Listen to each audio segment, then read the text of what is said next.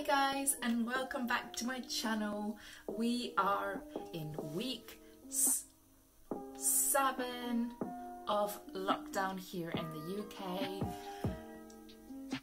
It is so much fun, I love it. So there is actually one thing that I have noticed from being on lockdown is that I have actually gotten to know my friends a lot more and I've seen them a lot more than I did when we were free and roaming about the world. so, which is weird, but I love it. I love being able to spend some time with my friends even though I am on lockdown. And yes, I do spend time with my friends as a lot of people do through the internet because we live in the 21st century if you hadn't noticed. One of my friends did make an amazing suggestion and I thought that my childhood great dream just came true when I read that message.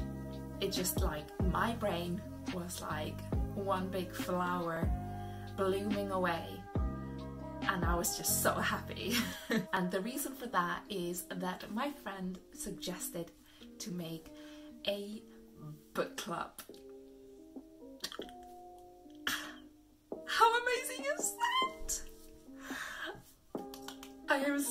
excited. I love a book club, even though I've never been in one. I have wanted to be in a book club since I was about 12. So this is really, really exciting for me. The first book that we are reading, and I have started to read this book, and it is amazing, is called The Silent Patient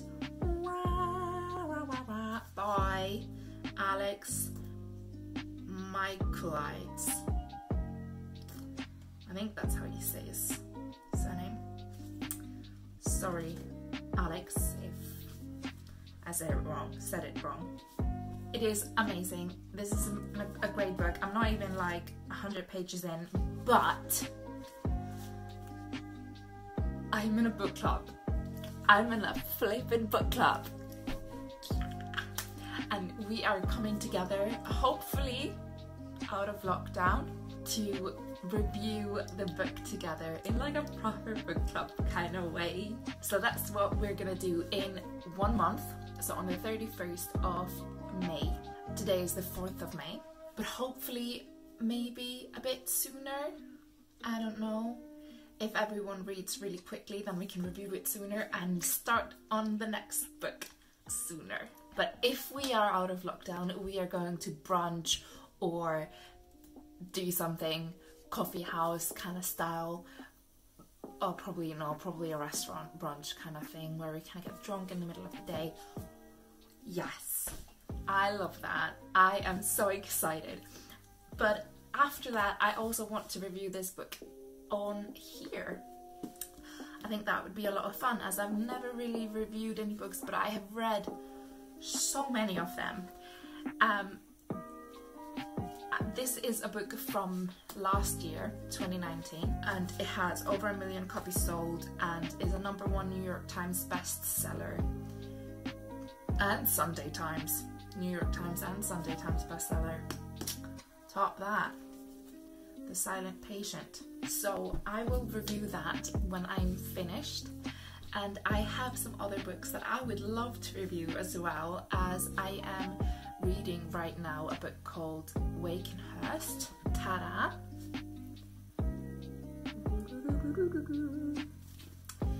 By Michelle Paver. Yes, I'm reading two books at a time. And this is not even the only two books that I'm reading right now. I am more than halfway through another book here which is the last book of the dark the dark artifices artifices something like that by Cassandra Clare if you're unaware of that that is a fantasy book um, if if you know anything about maybe the Shadowhunters like the Shadowhunter books or the Shadowhunter shows on uh, Netflix that is from that so the Mortal Instrument series is the first series. There are six books. in that series, and then we have The Dark Artifices, which happens after that series, and then we also have a book called, or a three book series. So this is a three book series, and then we have another three book series called The Infernal Devices. So those are amazing, and those series happen like over a 100 years before the Mortal Instruments. So that is like, amazing. It happens in the 1800s. Honestly, in my experience, probably one of the best fantasy books I have read, and I have read a lot of them.